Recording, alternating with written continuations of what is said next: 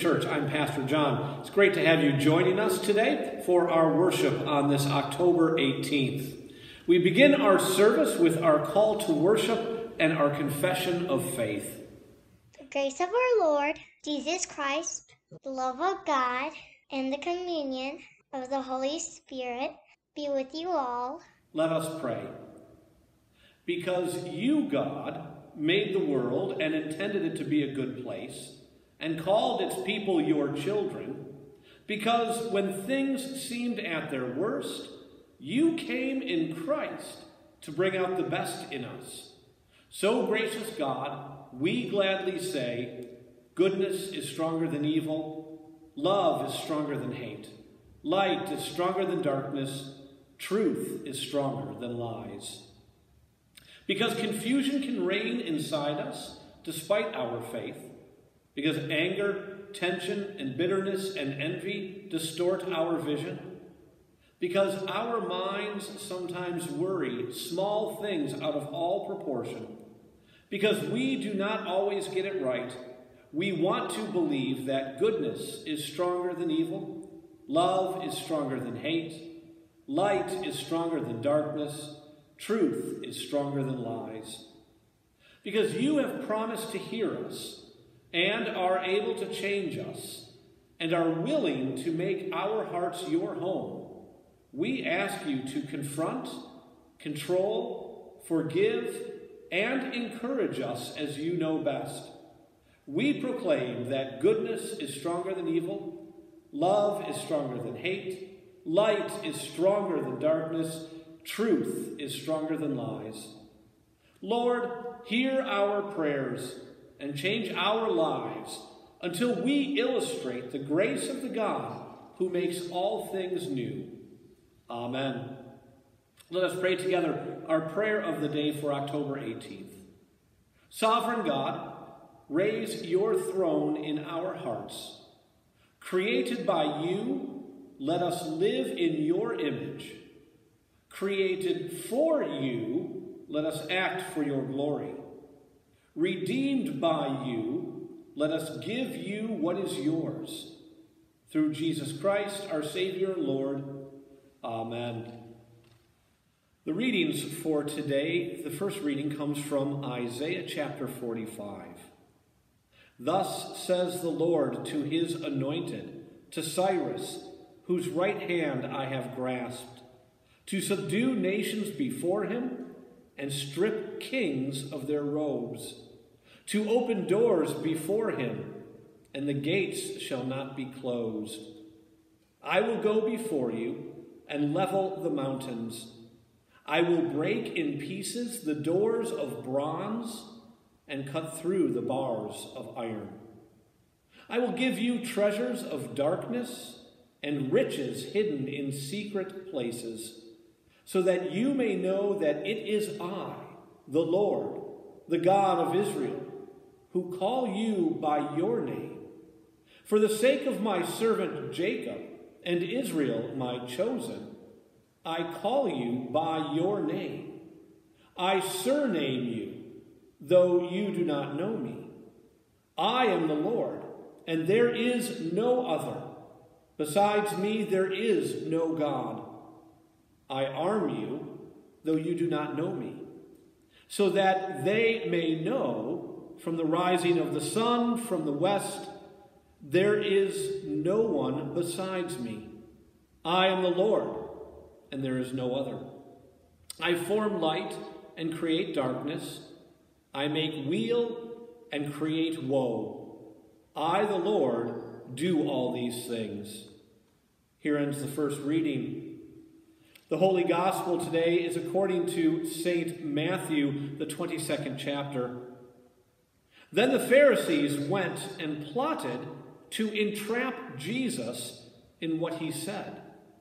So they sent their disciples to Jesus, along with the Herodians, saying, Teacher, we know that you are sincere and teach the way of God in accordance with truth, and show deference to no one, for you do not regard people with partiality. Tell us then what you think. Is it lawful to pay taxes to the emperor or not? But Jesus, aware of their malice, said, Why are you putting me to the test, you hypocrites? Show me the coin used for the tax. And they brought him a denarius. Then he said to them, Whose head is this, and whose title? They answered, The emperor's. Then he said to them, Give therefore to the emperor the things that are the emperor's, and to God the things that are God's. When they heard this, they were amazed, and they left him and went away. This is the gospel of our Lord. Praise to you, O Christ. Grace, peace, and mercy to you all from our Lord and Savior, Jesus Christ. Unless you've been asleep this past year, you all know that there's an election in about two and a half weeks. We're being bombarded with yard signs, TV commercials, unsolicited text messages, phone calls, and the list just goes on and on and on. This particular election cycle has caused and will cause even more conflict between friends, family, and even in the church. While most of us have already probably committed ourselves to a particular party or candidate, and some of us may have already voted already, I think it's important that we ask ourselves this question Is my vote is my allegiance to a particular party or candidate in line with my Christian faith and the teachings of Jesus Christ? Now, before you answer this question, we need to hear once again what Jesus says in today's story from Matthew. Jesus is asked a trick question. The Herodians and the disciples of the Pharisees ask this question with the hope that Jesus will answer it in such a way that will get Jesus into trouble. And the question is this Is it lawful to pay taxes or not? These disciples of the Pharisee and the Herodians ask this question because they know that if Jesus says it is lawful to pay taxes, then those people who have been following Jesus, hoping that Jesus was the Messiah that would free them from Rome, they would then leave him, thinking that he is taking sides of the Romans. Those who wanted freedom from the Roman Empire and occupation would go away from him. They would see Jesus now as a traitor to the cause of independence and freedom. Because if you're really against Roman occupation, how could you ever say it's okay to pay them taxes. But on the other hand, if Jesus says no, it's not lawful to pay taxes, then the Roman authorities could haul him in for sedition, for speaking out against Rome. But thankfully, Jesus is a very smart man. Jesus sees what they are trying to do. So Jesus answers them by saying, Give to the emperor what is the emperor's, and give to God what belongs to God. The way that Jesus answers them is really a reframing of the original question. Jesus knew the question that they posed to him was not really about paying taxes at all. The original question was really about where is one's loyalty and allegiance? Is one's allegiance and loyalty to Rome? or is one's allegiance and loyalty to God? But before Jesus answers the question, he asks them to see a coin, a coin that's used to pay the taxes, the denarius. And then, in front of everybody gathered around, he points out for all to see and hear that on this coin, on the money that is used to pay these taxes, there is a picture, an image of the emperor. And the emperor in Rome was understood by the Romans to be a god-like figure. The emperor was divine and holy. Eugene Boring, a theologian and biblical scholar, noted that the coin used for these taxes, the very coin that Jesus is holding in his hand, had the words inscribed in it Tiberius Caesar, August, son of the divine Augustus, high priest. On this coin, there was the claim that Caesar was a god.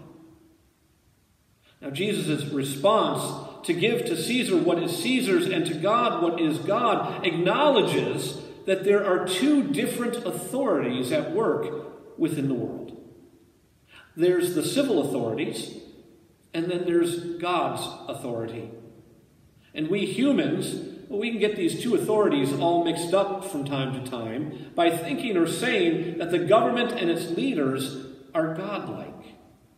When we ascribe a godlike status to any particular party or candidate or politician, it's, it's not only that it's idolatry, but we also run the risk of believing that anything that that politician does or says is always good and right, and we may even say that it's divinely inspired. When we believe that a politician or a political party is godlike, we run the risk of blindly following them because we may think that they can do no wrong. And this can also lead us to declare the other side, the other politician, or the other political party, we may declare them as evil.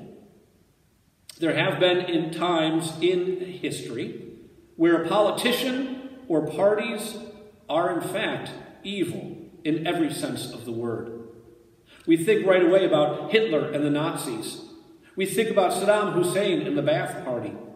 In those instances, the people needed to speak out and declare what evil was, that their reign was evil.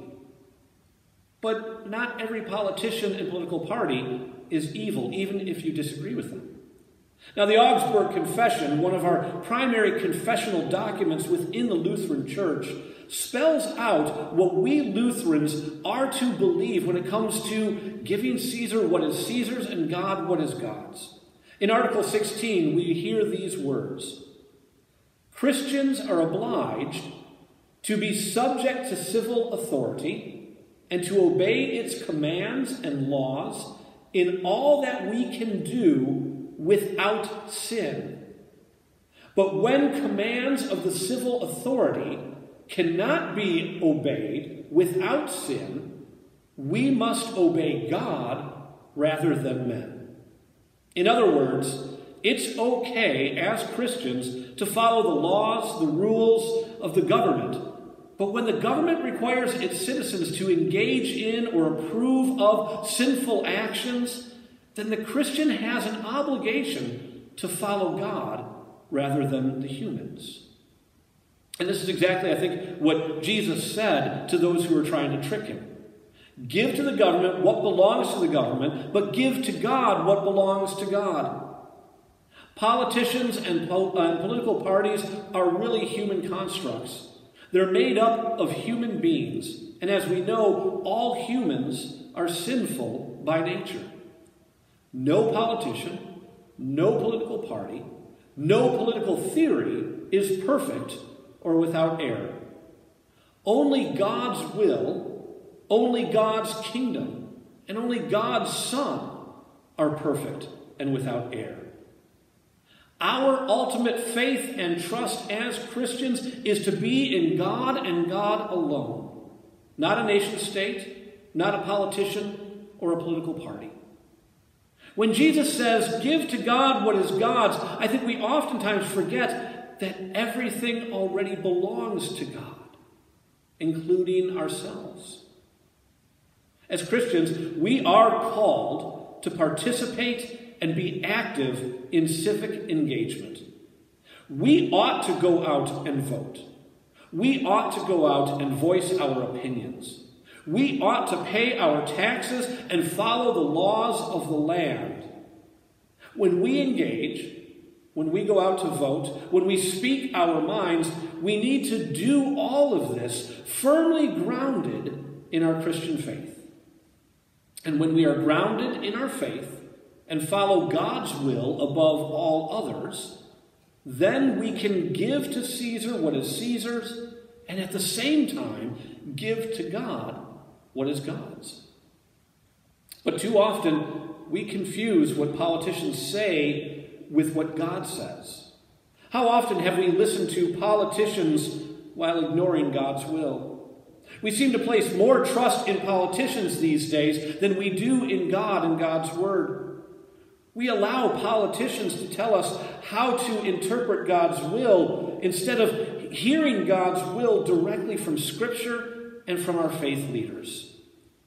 Throughout the Bible, we hear over and over again God's call to care for the poor, to welcome the stranger, to love our enemies, to heal the sick, to care for and protect the earth and all of God's creation. It's interesting to note that about 10 verses after today's gospel story, Jesus is asked, What is the greatest commandment? Jesus answers, To love God with all of your heart and your mind and your soul. But then Jesus adds on to this second to that is to love your neighbor as yourself. Jesus equates loving God with loving our neighbor. The gospel message, the good news of Jesus Christ, is all about love and forgiveness, compassion and mercy.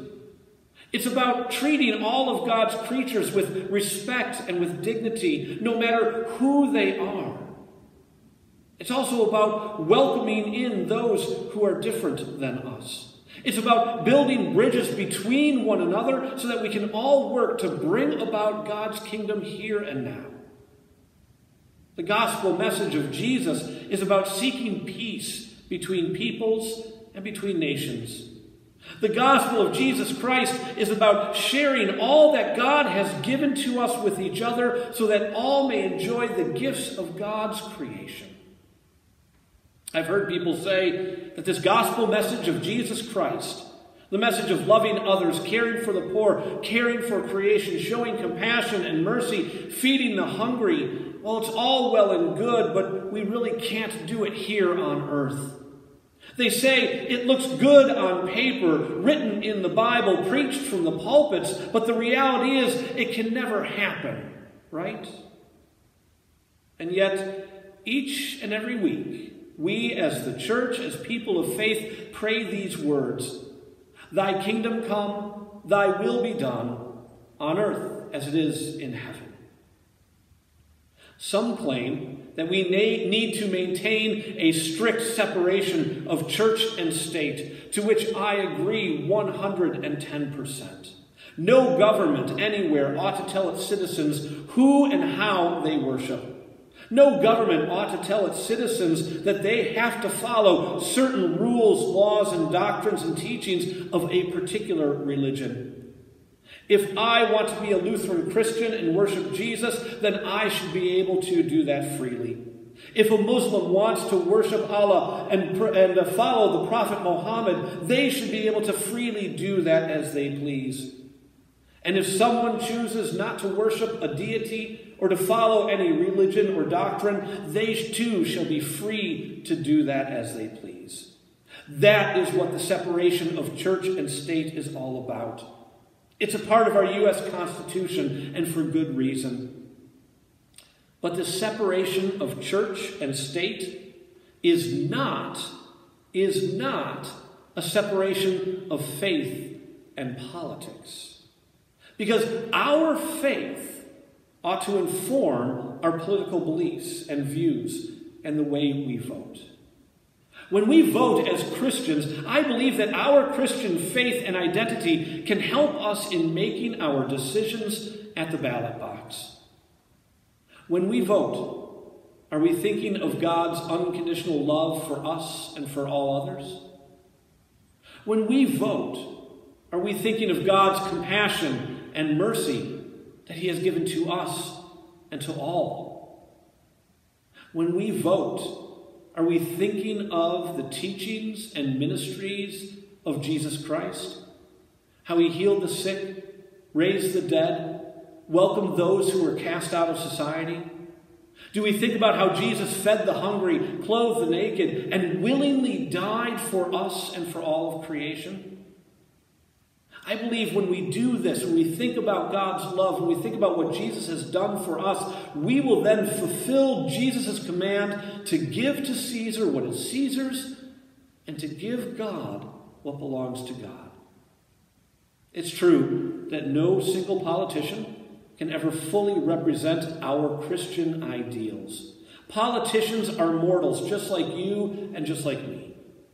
So, this is where we need to ask which person which party, which candidate is most in line with our Christian beliefs and with the gospel message of Jesus Christ. We need to dig deep into Holy Scripture and into prayer to truly understand this, and not just rely on the words of politicians who simply want your vote.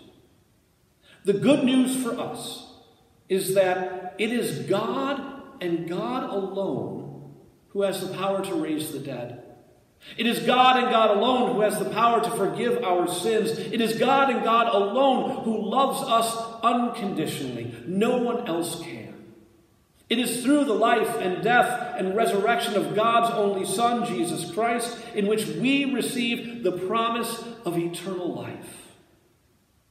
So I encourage us all to engage in our civic duty and our right to vote, to give to Caesar what is Caesar's. I also encourage us all to think about how our faith in Jesus Christ informs us in terms of politics and the policies that are put in place by those with whom we elect. Do they help us to give God what belongs to God? Do they honor our faith and the faiths of others? Do they help bring about God's will and kingdom here on earth? So let us, in the next couple of weeks as we run up to our election, let us all pray from the depths of our hearts for all of our elected officials and for all those who are running for office. That God's Holy Spirit would lead them and guide them and help us to see and live more fully into God's kingdom here on earth. Amen.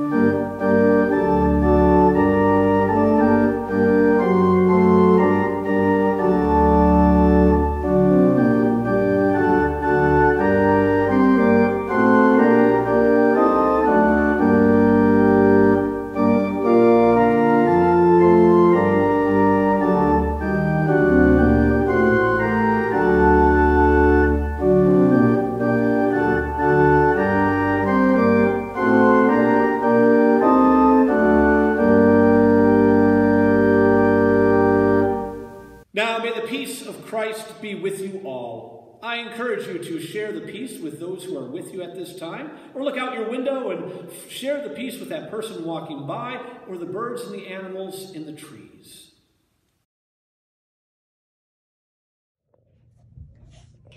I believe in God, the Father Almighty, creator of heaven and earth. I believe in Jesus Christ, God's only Son, the, our Lord, who was conceived by the Holy Spirit, born of the Virgin Mary, suffered under Pontius Pilate, was crucified, died, and was buried. He descended to the dead. On the third day he rose again. He ascended into heaven. He is seated at the right hand of the Father, and he will come to judge the living and the dead. I believe in the Holy Spirit, the Holy Catholic Church, the communion of saints, and the forgiveness of sins, the resurrection of the body, and the life everlasting. Amen. With confidence in God's grace and mercy, let us pray for the church, the world, and all those who are in need. Gracious God, you call us by name and invite us to share your good news. Send your Holy Spirit among preachers, missionaries, and evangelists. We give you thanks for the witness of your servant Luke the evangelist, whom the church commemorates today. Lord, in your mercy, hear our prayer. God of praise, the heavens and all creation declare your salvation. From the rising of the sun to its setting, may the whole universe show forth your goodness. Raise up devoted stewards of all that you have made. Lord, in your mercy, hear our prayer. God of all, may your word of justice sound forth in every place. Restore divided nations and communities with reconciling truth. Lord, in your mercy, hear our prayer. God of light, we pray for those who are living with pain, illness, isolation, grief, anger, or doubt. We especially pray for the Shaw family, Blaine, Carol, Alex, Lynn, Betty, Bob, Doris, Cy, Benny. Join their voices in a new song, assuring them that you call them each by name. Lord, in your mercy, hear our prayer. God of truth, you show no partiality. May your spirit guide the work of justices, magistrates, court officials, and all vocations of the law, that your promise of restoration may be known. Lord, in your mercy, hear our prayer. We pray for our country as we enter into this election. Send your peace and wisdom on all. We pray for all our elected officials and for those who are running for office. Lord, in your mercy, hear our prayer. Living God, you raised Jesus from the dead. So raise up those who have died in you. We also offer up prayers for an end to the coronavirus, that doctors and nurses and scientists can find a cure that will save us all. Lord, in your mercy, hear our prayer. Listen as we call on you, O God, and enfold in your loving arms all for whom we pray.